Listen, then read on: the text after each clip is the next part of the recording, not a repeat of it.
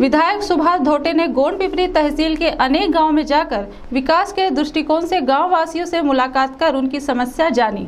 तहसील के किन गाँव का विधायक सुभाष धोटे ने दौरा किया, देखते इस खबर में।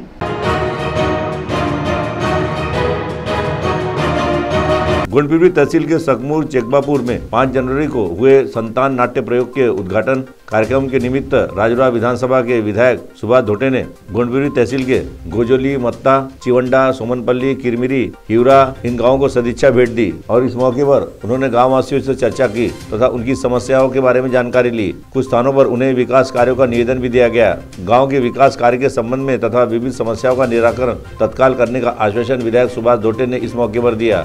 सकमूर, चेकबापुर के शिव भीम एकता राजे छत्रपति शिवाजी महाराज स्मारक समिति, चेकबापुर के सौजन्य से छत्रपति राजे शिवाजी महाराज के पुतले के निर्माण कार्य के लिए सकमूर युवा रंगमंच वर्षा प्रस्तुत संतान। इस नाटक का आयोजन किया गया था। विधायक सुभाष धोटे के हाथों इस नाटक का उद्घाटन किया गया। इस मौके पर सकमूर गाँव के विविध क्षेत्र में उत्कृष्ट कार्य करने वाले व्यक्तियों का सत्कार भी किया गया। इस कार्यक्रम के मौके पर गोंडपिपरी कांग्रेस तालुका अध्यक्ष तुकाराम झाड़े, कृषि उत्पन्न बाज़ार समिति के पूर्व सभापति सुरेश चौधरी, कार्याध्यक्ष नीलेश संगमवार महिला तालुका अध्यक्ष रेखाताई रामटेके, सरपंच सकमूर अर्पणाताई रेचनकर के साथ अनेक मान्यवर तथा सकमूर के स्थानिक पदाधिकारी, परिसर के कांग्रेस कार्यकर्ता तथा गाँववासी उपस्थित थे। सिटी के हमारे विशेष प्रतिनिधि नीतीश डोंगरे की रिपोर्ट।